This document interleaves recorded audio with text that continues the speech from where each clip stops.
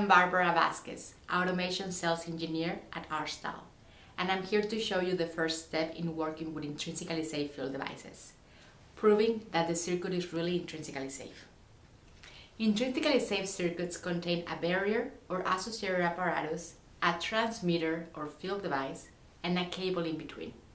The three of them together must form an intrinsically safe loop.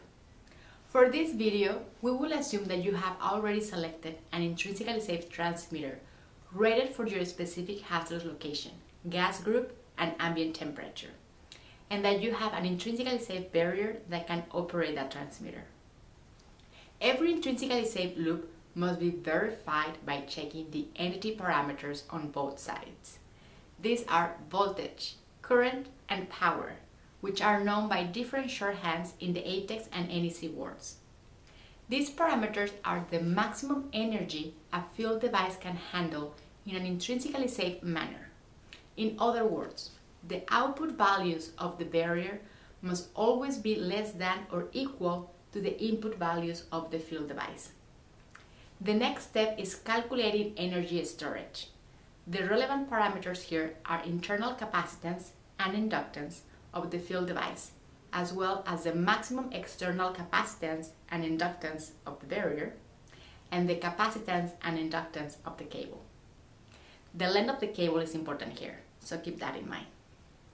In this case, the maximum capacitance and inductance of the barrier must be greater than or equal to ones of the field device and cable combined.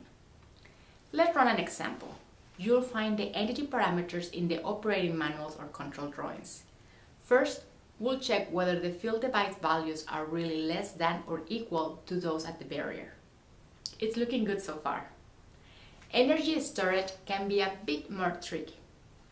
If inductance and capacitance at the field device are zero, or less than 1% of those at the barrier, you can use the maximum inductance and capacitance values of your barrier for these calculations. In any other case, you will have to use the values for mixed or concentrated inductance and capacitance, which you will find in the documentation or control drawing of the barrier. Alternatively, use 50% of the barrier's maximum values in the calculations. You can get the cable values from the cable vendor, or you can use the standard values shown here. Now we have got all the values to complete our verification of intrinsic safety. The inductance and capacitance of the field device plus the cable length are less or equal to those at the barrier. This table now proves that our example is in fact intrinsically safe. All you need to do now is to make a written or electronic record of this proof and you are done. Almost. You should always refer to the applicable local standards like this to make sure you are 100% compliant and 100% safe.